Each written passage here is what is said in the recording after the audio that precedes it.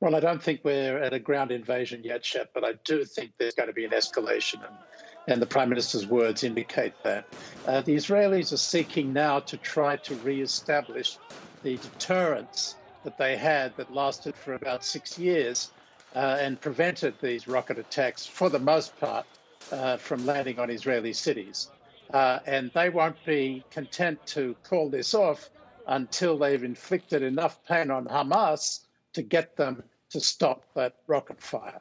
Hamas, on the other hand, is going to respond by uh, attacking Israeli cities indiscriminately with these rockets uh, to try to show that they will not be deterred by Israel and to champion the Palestinian cause, including the cause of Jerusalem this time because of the tensions there.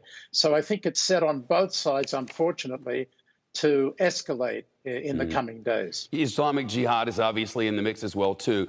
But do you believe more powerful Hezbollah might seize on this moment?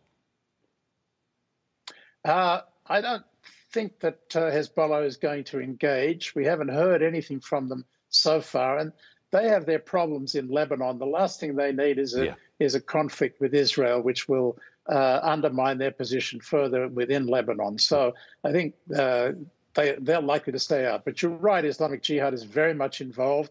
The Israelis took out their uh, principal uh, rocket maker uh, today, and they are effectively a subsidiary of the Iranian Revolutionary Guard Corps. What is President Biden's role in this moment, and how involved, if at all, should the U.S. government be?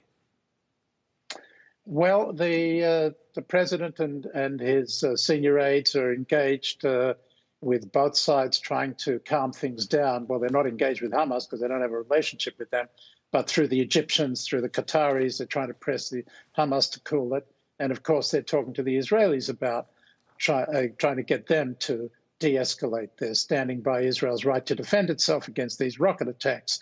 But the overall approach of the administration is to try its best to calm things down. As I said before, because of the natural momentum, the escalation is, is going to likely dominate for the next few days before any uh, efforts by the international community, led by the Biden administration, are likely to succeed. Martin Indyk, thank you so much.